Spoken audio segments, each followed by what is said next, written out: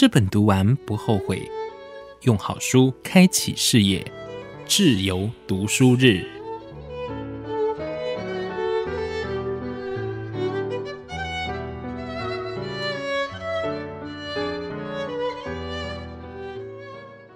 欢迎收听今天的自由读书日，我是志源。今天呢，非常高兴在节目当中，志源邀请到由联经出版的《古人解忧疗愈帖》的作者廖伯乔。伯乔呢，也是精神科医师。伯乔您好，各位听众朋友，大家好，主持人好。今天呢，我们要介绍的这一个是唐代诗人当中的卢照邻，他算是初唐四杰之一哦。但是呢，在这本书当中啊，我们却看到了他不同的一面哦。伯桥说呢，他是最痛苦的。为什么他是最痛苦的？通常听到唐代就想到是李白、杜甫、王维这些人，但今天我想分享的这一个是他们的长辈。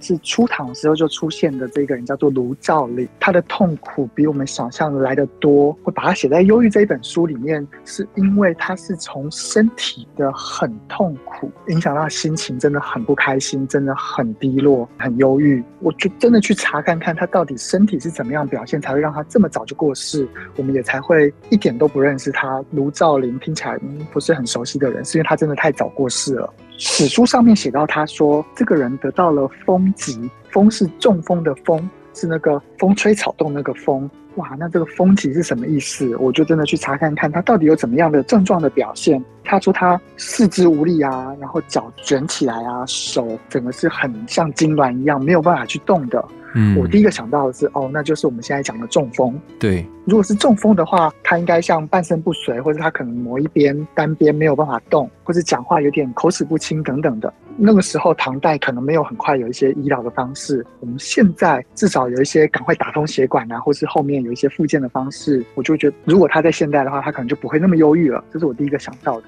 但真的去查一查，发现哇，他没有我想的这么简单。除了刚刚讲到这个身体的这个表现以外，他说他的整个全身的皮肤脱落，甚至溃烂，他的脸啊、眼睛和鼻子都长得不一样了，嗯，毛发也都掉落了，那眼睛看不太清楚，然后五官叫不正，我们就可以想象他越来越丑，然后整个人每天的那个症状表现不太一样，他应该相当的痛苦吧？如果把他想成是麻风病的话，其实症状相当的和，而且相当的。典型，甚至因为他有一点感染的这个可能，所以旁边的人应该都很害怕他，不想和他为伍，不想和他接触。怎么样去看他真的是忧郁的表现呢？最后面几年他做的事情让我觉得好伤心哦，因为他没有办法走了，他只能用爬的。他爬到隔壁座的这个小山坡，他自己挖好了一个墓，他每天就爬进去那个墓里面，然后等着到傍晚，哎，好像今天还是没有过世，还没有死，每天再爬回来。他已经忧伤，已经到。对这个人世间没有任何的渴望，到这个状态，一天一天生病的状态又不会好，又不知道什么时候好，整个身体又全部都是残废，外表也残废的这个状态，最后他也没有其他条路，他真的就是投河自尽就过去了。其实听了好难过。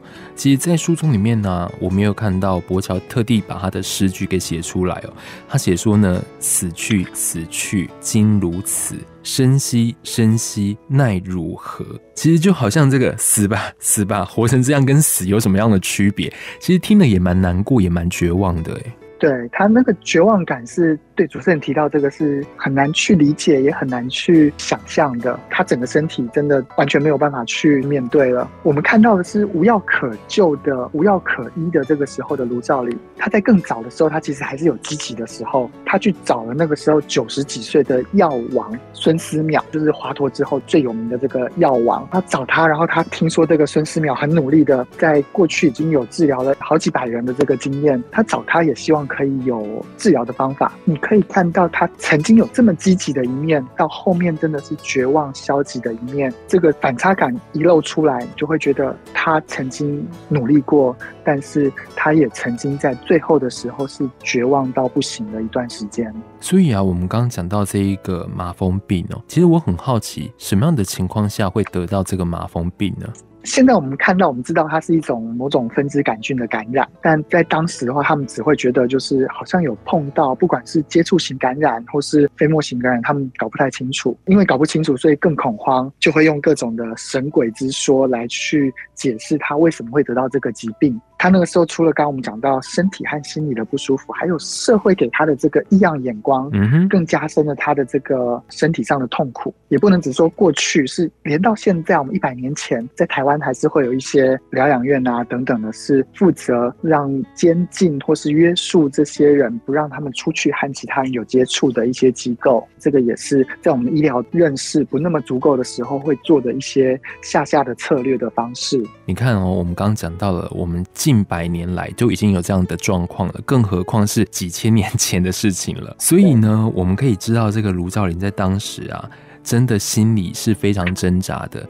很多人都会说，生理影响心理，心理也影响生理哦，所以都是环环相扣的。你要有一个全人的医疗，才有办法得到一个全人的你哦。我们的身体状况如果已经不好了，你很难让你自己的心理健康吧？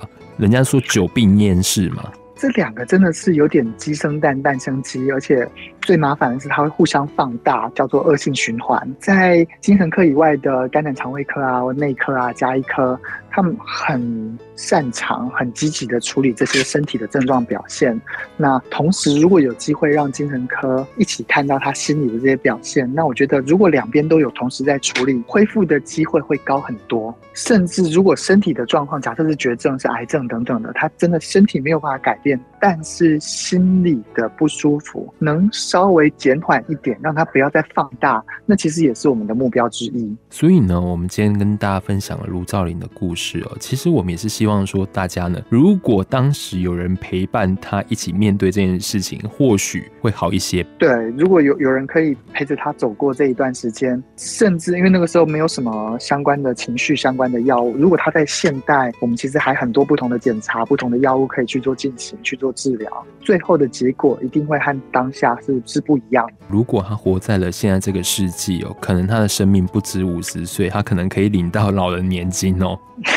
对，我也希望他可以就是在在活得更久，那自己伤害自己，甚至一了百了这个想法和念头，可能可以越少，对他来说，可能人生可以越长，是没有错的。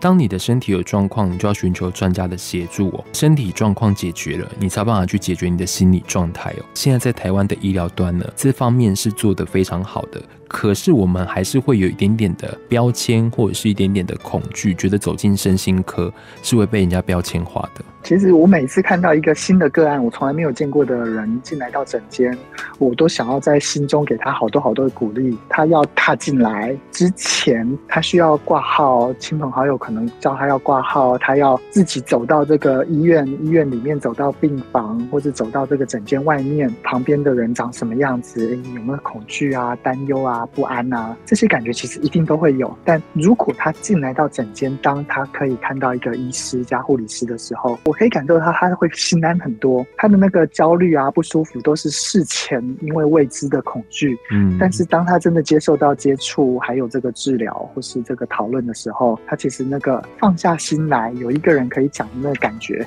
一定比他一开始那些焦虑还大很多。所以啊，我们希望呢，可以透过今天的分享，带给大家不一样的观点哦。最后呢，我们还是要请波乔来跟我们呼吁一下，大家呢要好好的爱护自己的生命哦，预防自杀。很多呢是因为他的生理状况，他没有办法克服，他觉得没有人可以承受他身上的痛。所以他想要结束生命，让这一切解脱。但是如果我们今天有发现这样的情形，我们可以尽可能的去协助他减少他身体的病痛。还是要请波乔来呼吁一下我们的听众朋友。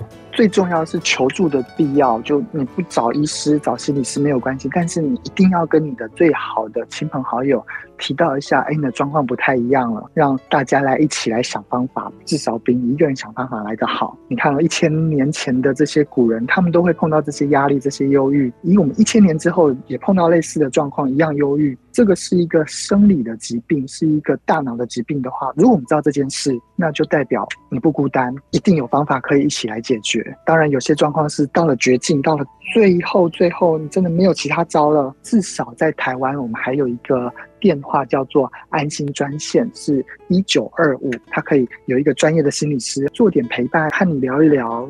看看你现在发生什么事情，陪你度过这个最艰难的一小段时间。这也是一个可以利用的我们政府给我们的资源。另外呢，生命线一九九五也可以来协助你解决心理上的问题哦。今天呢，非常高兴呢，邀请到了博乔来跟我们做分享，特别介绍了这一本新书，由联经出版的《古人解忧疗愈帖》，希望呢大家一起来解读忧郁、疗愈自我。谢谢博乔，谢谢，谢谢。